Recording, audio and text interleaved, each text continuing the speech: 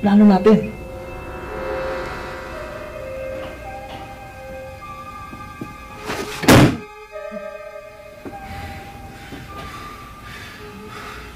Ini-squill tayo. Ini-squill tayo. Pinahamak tayo ni Amante. Papatayin ko siya. Papatayin ko siya. Si Amante? Oo.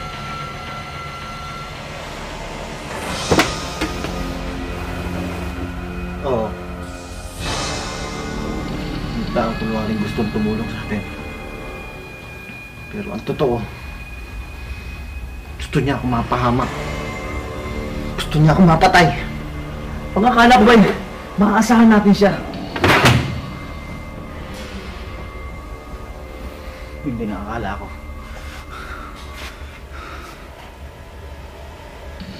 Pero sa nangyari ito, lintik lang ang walang gante.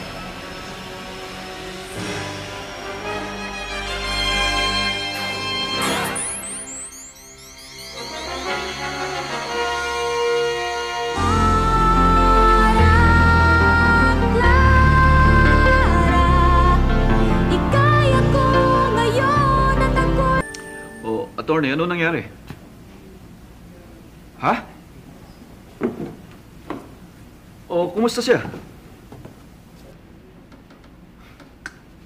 Ah, attorney, ikaw na ang bahala muna dyan sa kaso na yan. O, tatawagan na lang kita mamaya. Bye. Amante, sino yun? Si attorney. Tungkol kay Gary. Bakit? Anong nangyari daw kay Gary? Nakatakas ba siya? Eh, itinuloy din niya yung binabalak niya. Eh, di naman siya nagtagumpay. Natuklasan din ng mga pulis ang plano niya eh. Bakit amante? May problema ba? Wala, Enrico. Kilala mo si Gary, di ba? Ah, oo. Napag-usapan namin ni Almira nung isang araw. Nagtangka kasi tumakas si Gary kaso nahuli siya ng mga pulis. Paano yan ngayon? Ano na mangyayari kay Gary? Sa ginawa niyang yun, tiyak na matatagdagan ang sentensya niya sa kulungan.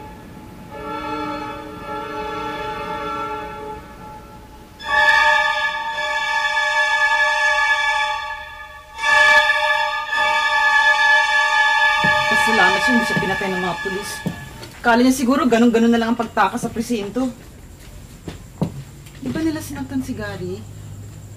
Ewan ko lang. Pero nung huli ko siyang makita kanina, malakas naman siya. Maayos naman siya. Eh, hindi na nga raw pumasok si CG. Dahil sa bukana pa lang eh, pinag-uusapan na yung ginawa ni Gary. Natakot nga ako dun sa investigador eh. Baka ako raw ang nagbigay ng susi kina na Gary. Kung tinarayan ko nga, ano kala niya sa akin? Maton? Ano ba kaya mangyayari kay Gary?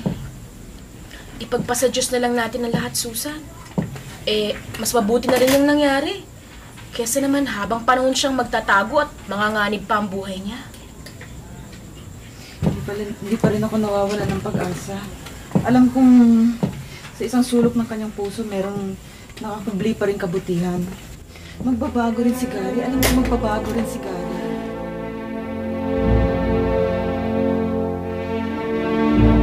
Ululin, amante. Walang ibang nakakaalam na minabala ko kung hindi ikaw. Sapat na bang dahilan yun para isipin mo ako nagkanulo sa'yo? Walang dahilan para isipin kung ibinibita mo sa akin. Anong walang dahilan? Ha? Walang dahilan? Gary, Gary, nagkakamali ka. Kung nung una, hindi ako umayon sa hinihiling mo sa akin, pero tinutulan ko ba pagtakas mo? Kung talagang gusto kita ipahamak, pagbibigyan ko kahilingan mo sa akin. Tapos sa kita padadampot. Wala ako ibang maisip na pwedeng gumawa sa akin ng ganito. Kundi ikaw.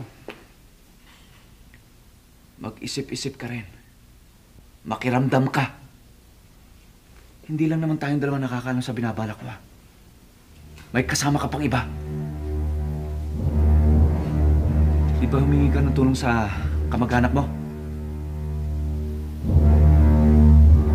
Pag pwede magkano ni Ricardo.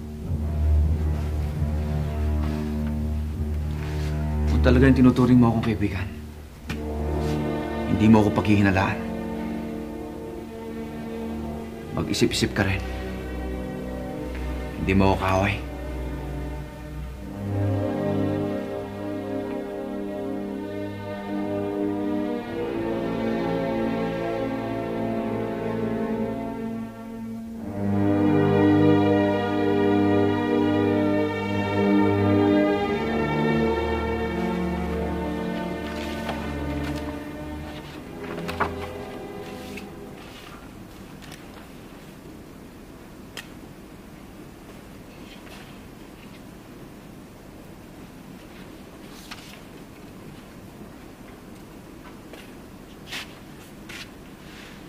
Matanda ko nga pala, Almira. Hindi ba may relasyon kayo ni Gary dati? Wala na yun, matagal na yun, nakaraan na yun. Natanong ko lang naman dahil mukhang nagkakaproblema kayo ni Amante ngayon kay Gary. Na-involve lang naman kami ni Amante dyan kay Gary, ng mga nakang-asawa niya at nangailangan sila ng tulong. Tinulungan niyo ang taong tinuring kayong kaaway? Enrico, nakalimutan mo na yata ang pamamalakad ng papa tungkol sa pagtulong sa mga nangangailangan. Kung talagang gusto mo magkawang gawa, eh hindi ka pwedeng mamili, hindi pwedeng magkaroon ka ng mga kaaway. Ang pagkakaalam ko, malaki ang galit ni Gary sa inyo. Lalo na sa'yo. Siya siguro may galit sa akin, pero ako wala. Tinanggap niya ang tulong niyo? Si Amante ang gumawa ng paraan. Nung nalaman ko nga, magkaibigan na sila.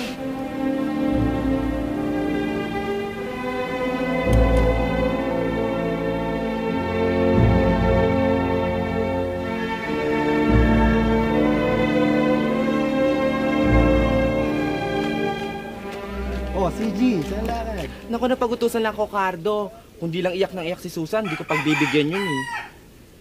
Ba, tungkol saan? Eh di dun sa namatay nilang anak, kaya daw siguro nagiging patong-patong yung problema nila sa buhay dahil hindi man lang nila nadadalaw mas kinapuntod man lang nung bata. Ah, alam niyo ba kung saan nalibing yung bata? Hindi nga eh. Hindi ba't hindi naman namin alam kung saan nilibing yung bata? Eh, paano niyo aalamin kung saan ito nalibing? Eh saan pa? Eh di sa ospital. Tiyak na alam nila kung saan ito inilibing ni Gary.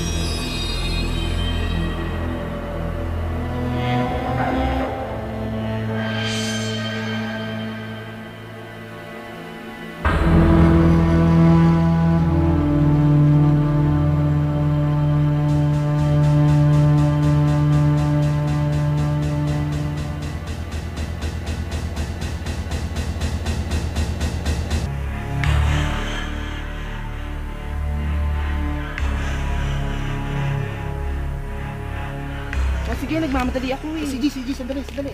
Ano ba? Sabi na nagmamadali ako eh. Eh, kasi naisip ko baka mapagod ka lang pagpunta ron. Saka, baka hindi rin alam ng mga taga-ospital kung saan nalibing yung bata.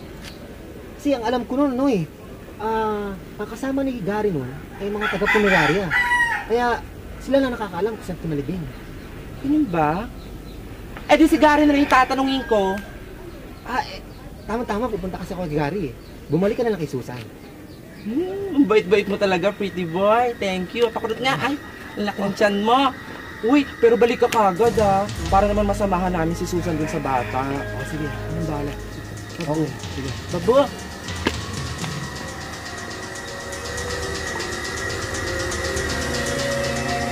Pagkakataon ko nito. Jack na aminin na sa akin ni Gary ang totoo. Hindi ko agad sinabi sa'yo dahil ayokong kumalat na naging kasunduan namin ni Amante. Ang ibig mo sabihin, pinalitaw mo lamang na namatay ang isa sa kambal niyong anak. Pero ang totoo, pinaampon niya sa mag-asawa.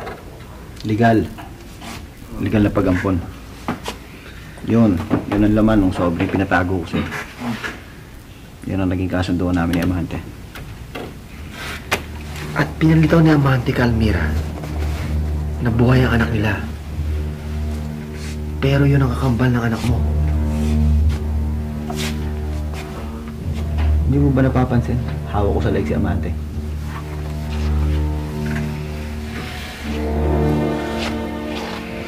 Tuklasin mo, Cardo. Tuklasin mo kung sino nang huda sa amin. Dahil nasisiguro ko, may nagsuplong sa mga polis.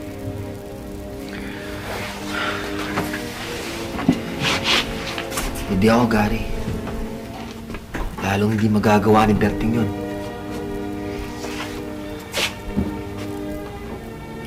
Malalaman ko rin yun.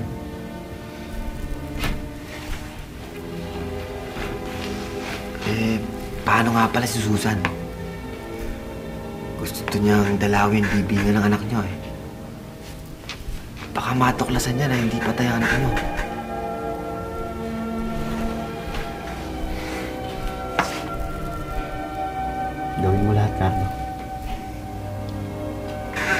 Gawin mo lahat ng mga kaya mo. Kung kailangan lapitan mo si Amante, lapitan mo. Hindi dapat malaman ni Susan na naging kasunduan namin ni Amante.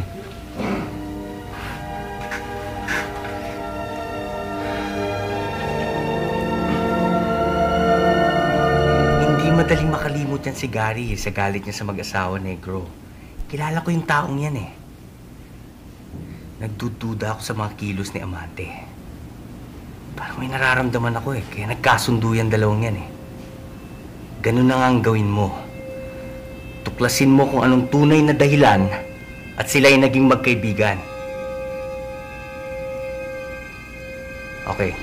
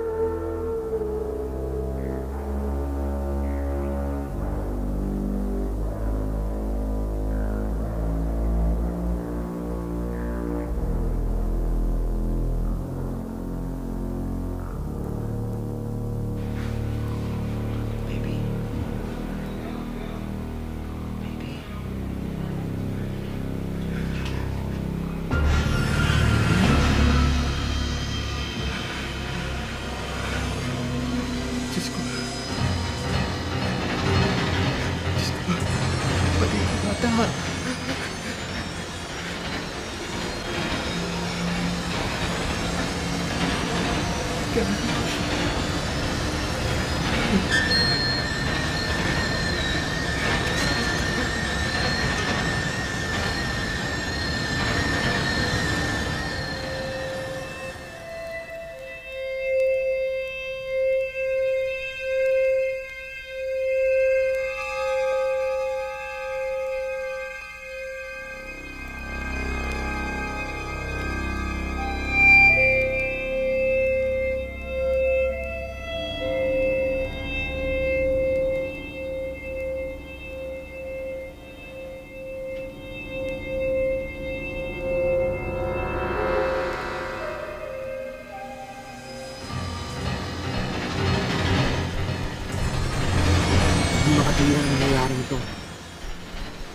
akala ni Gary, anak niya Amante ang namatay.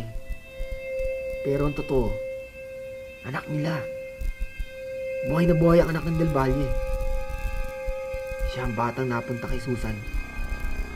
At ang anak ni Gary, ay napunta naman kina Amante. Kapag hindi ko na konsensya ang lihim na to, pipilitan ako. Pagtatapat ko sa kanila ang totoo.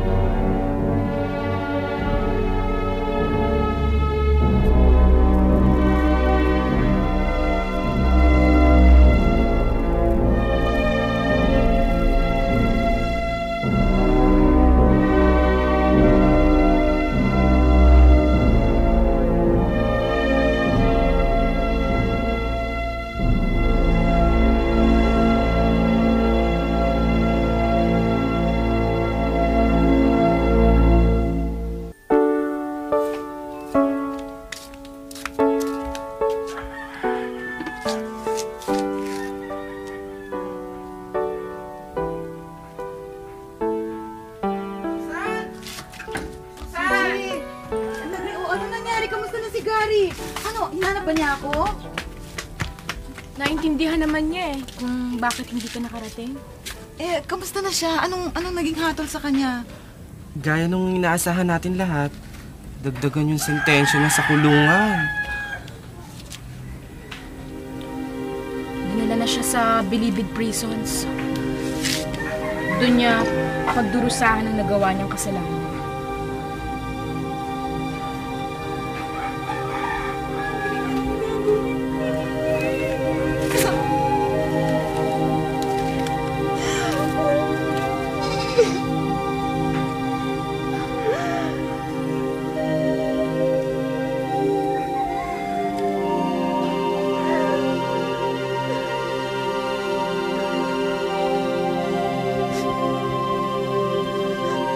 Ang